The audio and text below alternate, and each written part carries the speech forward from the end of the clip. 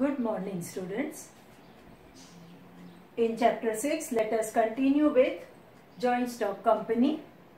We have learned about sole proprietorship, partnership, Hindu undivided family, cooperative society. Now another very important form of business organization joint stock company. Joint stock company the meaning says an artificial person pay an attention an artificial person come into existence by law with a common goal. Artificial person it means that the person created by law. The person, the company act as a person, as a human. The way human is working, company can do a contract, company can do the business, company can uh, do the activity on its own name. So that is what the first expression of company. In another words, you can say that company is an artificial. It is artificial, invisible and intangible person in the eye of law. A person created by law. You can't see the company. You can only read the name of a company. Company don't have a physical uh, human body as we have. Company only known by its name. Functions done by the representatives of the company nominated employees of the company, nominated board of directors of the company. They will run the company, but the name of the company, that is what considered as an artificial, invisible person created by law. The definition, if you see of a company, it is said in that Companies Act 2013, that what they say, that company as Act 2013 Company means the company registered under this act or under any former act. Earlier the Companies Act 1956 was implemented. After 2013 Act, now the 2013 Act is implemented. So any registration done under this Act, that particular registered form known as a company. So they have expressed the meaning of the private company, the company which is not a private to be called as a public joint stock company. So in a Companies Act 2013, the expression of the company said that under this act, whatever company registered is known as a joint stock company. Now let us see the characteristics, how you can identify any joint stock company that these character company business can be called as a joint stock company. Number one, that is the legal personality.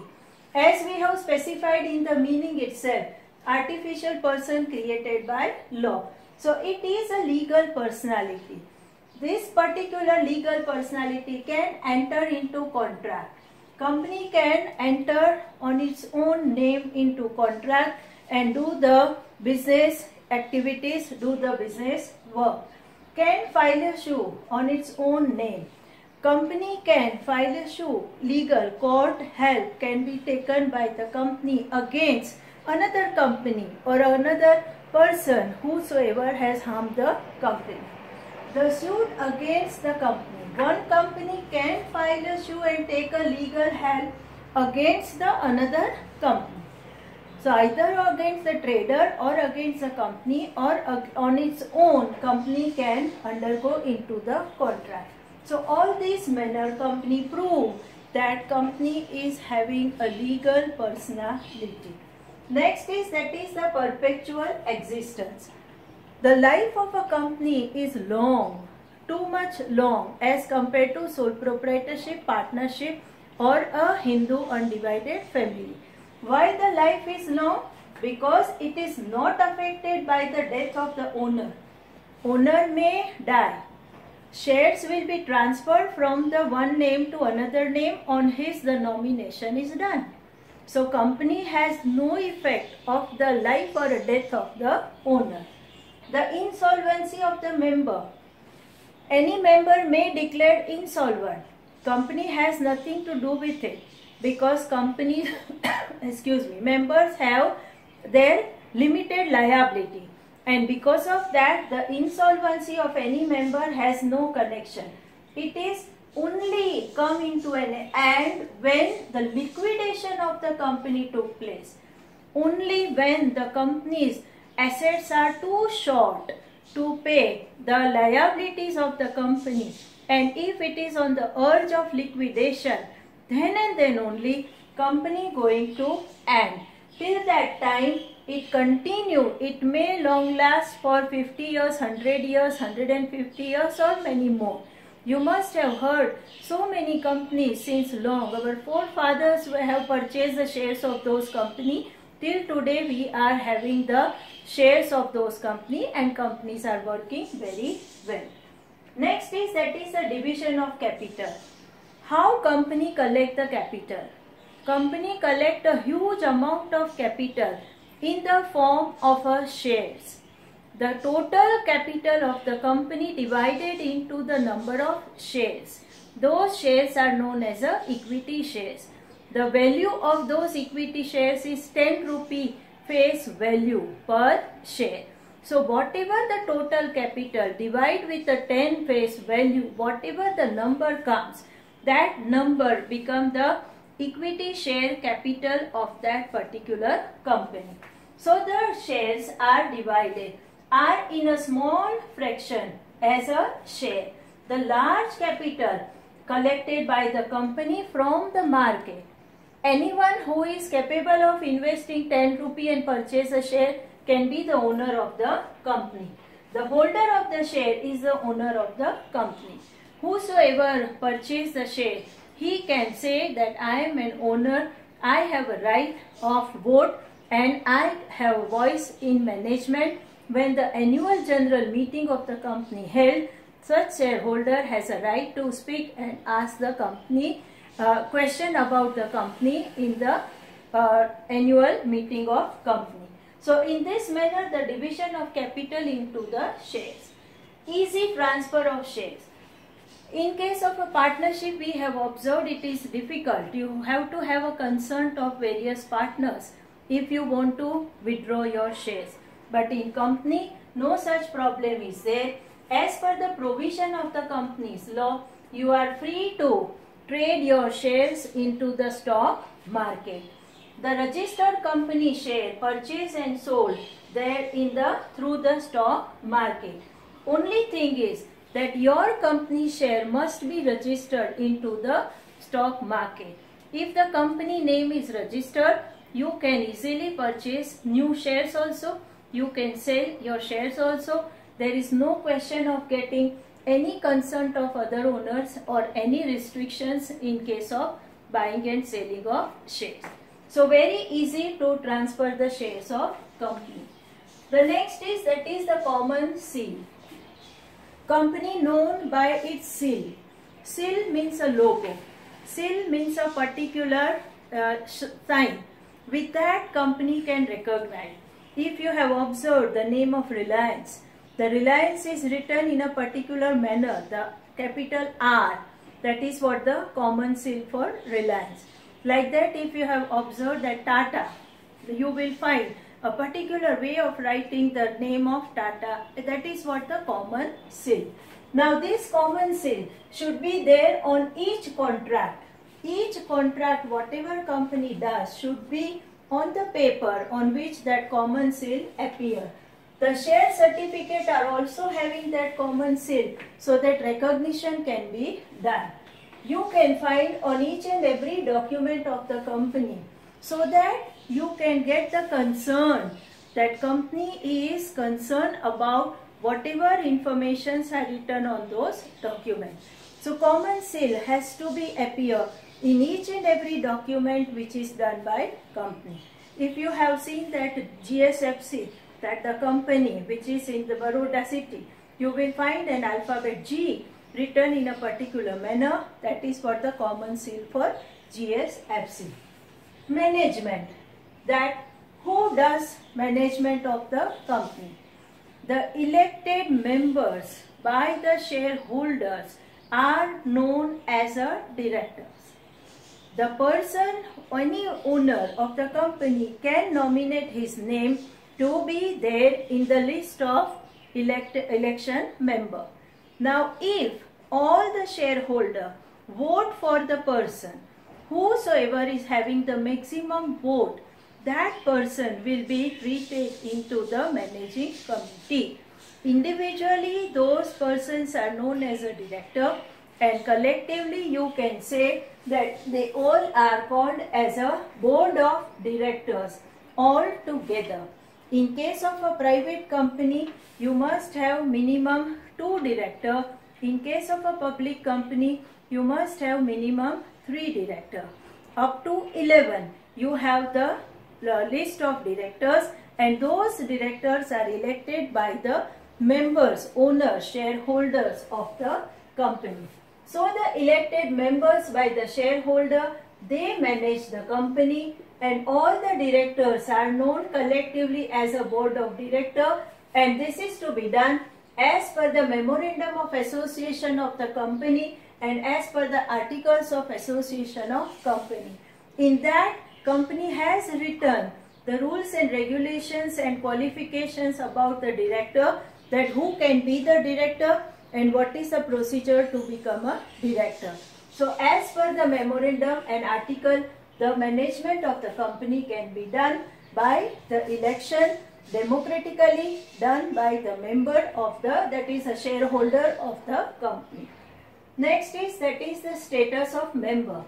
The status of member are known as a shareholder and they are the owner.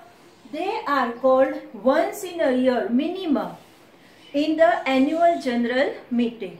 That is a statutory meeting in statutory meeting, minimum once in a year, all the shareholders are officially allowed to question, allowed to know about the company's performance, allowed to know about any resolution to be passed in the company and whatever the questioner and whatever the management issues are there, they must be knowing. They must be invited to uh, discuss about those issues. So the shareholders are the prime authority to know about company in annual general meeting. They are the king only for one day that is annual general meeting. For all the rest of the days the elected members they will decide and run the company. Next is that is the number of members. The company are of two types, private company and a public company. In a private company, minimum two members are required to register a company and maximum you may have 200 members. Up to that, this revision of the members is done after that Act 2013. In the Companies Act 2013, earlier it was limited up to 50. But now we have to remember minimum to maximum 200. For the public company, the minimum members you have 7 and maximum there is no limit. Whatever number of shares you can call that is depends on that debt equity ratio and based on the authorized capital of the company. To that limit, what number of shareholder you can uh, have collect money from the market that many members you may have. Next is that is liability of members. Two type of liability. Up till now we have seen unlimited liability that is in the sole proprietorship in partnership. In the Hindu undivided family unlimited liability only of a karta. And in cooperative society we have learned the concept of limited liability. Limited liability means limited up to the investment done by the shareholder. So here also the liability of the member are the limited to the investment done by the shareholder. If you have purchased more shares, your liability up to that figure. If you have purchased only one share of 10 rupee, your liability is up to 10 rupee. Now, there are certain companies with an unlimited liabilities, but those companies are not found in our country. So, for us, the only one option is that is limited liability of the shareholder in case of company. Next is fundamental right. As we said that company is an artificial person created by law, but artificial person, not a human. So all the fundamental rights what the Indian citizens are enjoying of India. All those rights company does not have. Company is a person but not the right, fundamental right as the citizens are enjoying. That to be kept in mind. Voting right. In case of a cooperative society, we have seen that voting right per person. You have thousand shares or one lakh share or one share. All the three category of the member will vote only for one. While here, the voting rights are more the share, more the voting power as many as more shares you are owning, that much power is there. If a person X is having 1 lakh share, he is owning the 1 lakh shares in unit, in number, then his voting power is 1 lakh. Another person Z, if owning 100 shares, then his voting power is only up to 100 shares, means 100 times. So more the shares, more the power. The next is that is the dividend that is a part of profit of the company. At the end of the financial year, the profit and loss account prepared and whatever is the divisible profit after tax company found that is divided among the members which is known as the word dividend. The dividend is an income for the shareholder. More the shares you are holding, more dividend you will get. Less the shares, less dividend you will get. Now, how much dividend company will declare? That depends on the earning capacity of a company. If the good financial year is there, company may have more profit, more dividend. If the financial year, like as we have the pandemic year COVID-19, our financial year is too bad, our economy is too bad, so definitely company don't have much profit. So they have less dividend in this particular year. So dividend depends on the profitability of the company. More the profit, more the dividend. Less the profit, less the dividend. So in this manner, you can identify the company which is to be called as one of the big form of business organization. Companies are giant from the beginning. Companies does mostly that uh, manufacturing business and companies are working on a large scale. These are the few prime character of the joint stock company. I hope you all must have understood the meaning, definition and characteristics of company. Thank you.